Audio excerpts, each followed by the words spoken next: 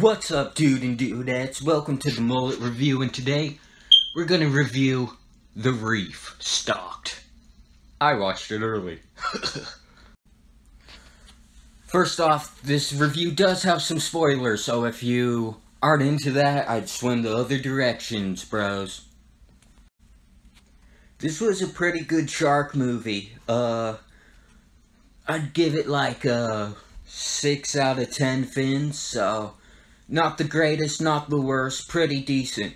Uh, the thing about the Reef movies I like is that they actually use real footage of sharks. Uh, they had maybe one scene where the shark looked pretty fake, but it was just like a shadow. It lasted like three seconds, no big deal. Other than that, the shark looked completely real, because again, they use real footage. I don't want to tell you every single detail about the movie, because I want to leave room for you guys to be surprised.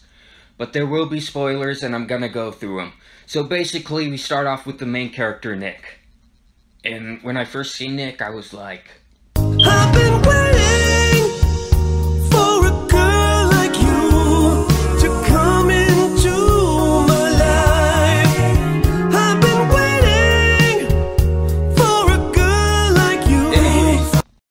Something tragic happens to Nick that leaves her traumatized by water. So she does the next best thing nine months later. She goes kayaking slash spearfishing slash snorkeling in the Australian Ocean. Uh, so that made sense. Anyways, um, I have to say that the first 40-ish minutes really kept me on the edge of the, my seat.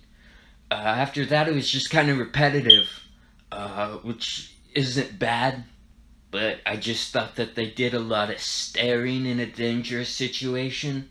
Like, there were scenes in the movie where they seen the shark, and they just sat there, like, for five, ten minutes, and, and didn't paddle towards the shore.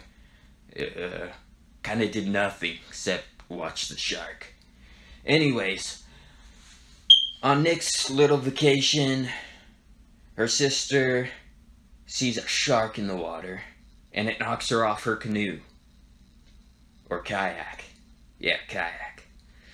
Anyways, uh, one of Nick's friends tries to help her, but she gets knocked off, and then the shark gets her.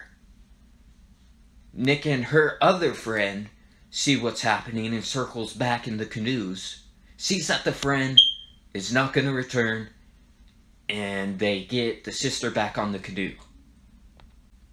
After they get the sister to safety, they swim to the nearest little island that they see.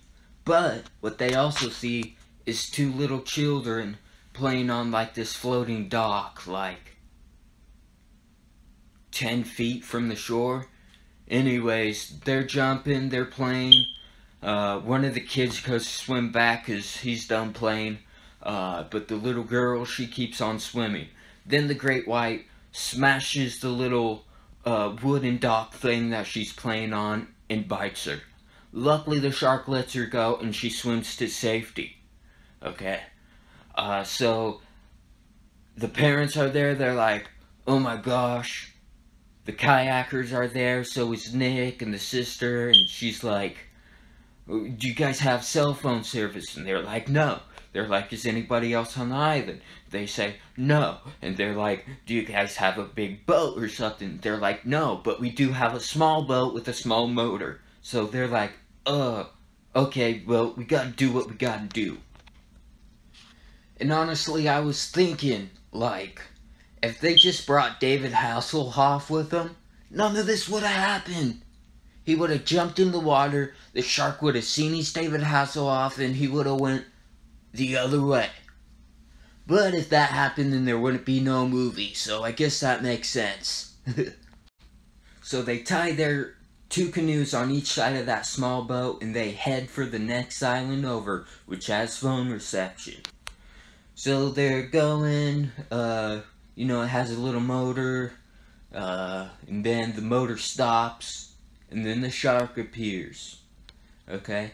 Uh, the shark kind of like lunges at him and whatnot, uh, just kind of plays with him.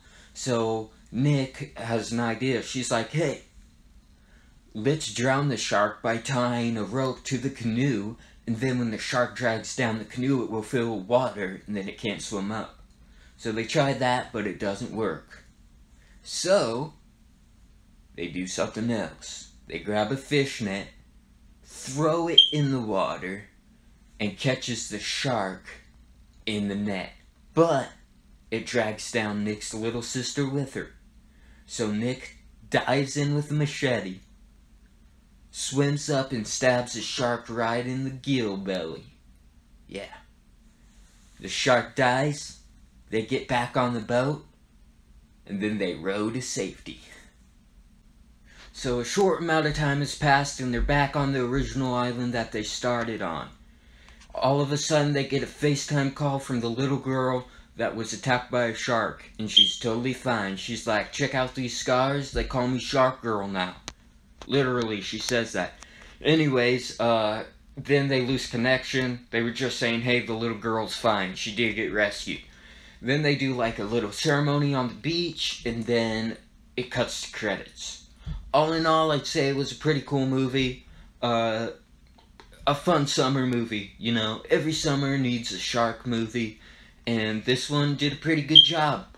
Um, so, if you like this video, like, subscribe, hit the notification bell, and there will be more videos. Thanks for watching, everybody. God bless, and see you later, bros and brodettes. Or dude and dudettes.